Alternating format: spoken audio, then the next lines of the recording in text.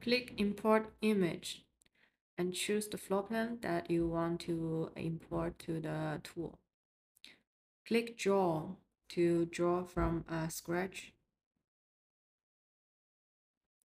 And then set the measurement to make it the same with the reality of the project.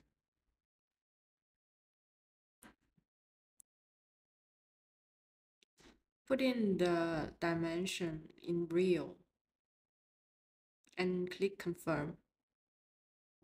Then click the wall and you can draw the wall by changing its dimension on the top. Here I put 0.2 meter.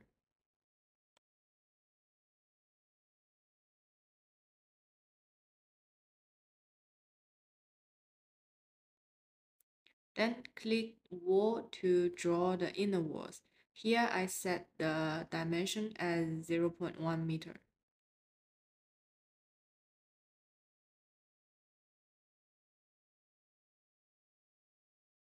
And then we can trace the wall as the floor plan.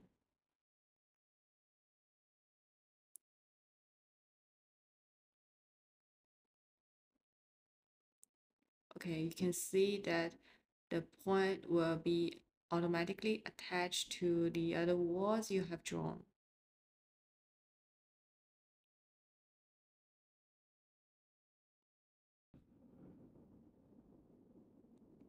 And then you can modify the floor plan by either drag the walls or put in the dimension.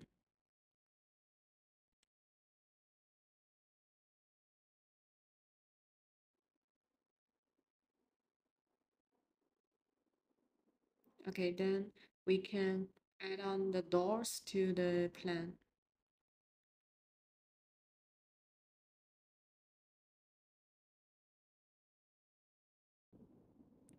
Here, click flip, you can adjust the opening direction of the doors.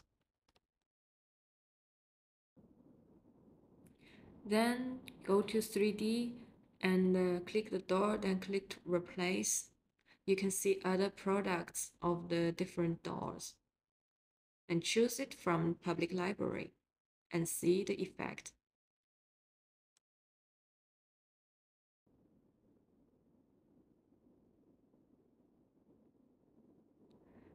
And then here on the right bar, you can set some properties of the door products such as length and height and thickness.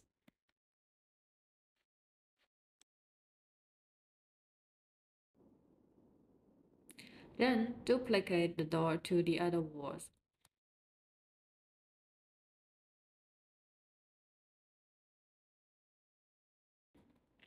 Adjust some of the dimension of each products.